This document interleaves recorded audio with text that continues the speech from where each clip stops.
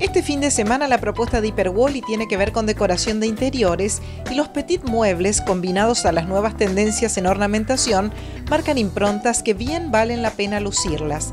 En imagen es un impecable dressoir de acrílico transparente en compose con la mesa auxiliar en las que se lucen lámparas, objetos de porcelana y platil, centros de mesa y esferas de cerámica artística en una composición de celestes y turquesas que se ayornan con los paños de las cortinas muy modernos. Para los más clásicos, los muebles de roble de indudable estilo inglés son una apuesta segura y las posibles combinaciones con los objetos de decoración permiten variedad y buen gusto.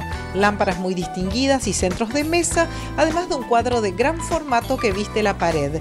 Siguiendo con petit muebles clásicos en textura de roble de lustre oscuro, la ornamentación de interiores incluye cerámica blanca con maridaje de plata para varios objetos y las nuevas tendencias incorporan pequeños maceteros con flores y plantas artificiales. En la vista final, una mesa auxiliar con bandeja desmontable en textura de cocuero color habano que cobra vida con jarros mug con estampas de flores y pequeño macetero. Como adelanto de la nueva temporada, objetos metálicos para lucir en las cómodas o tocadores, además de juegos de comedor y modulares.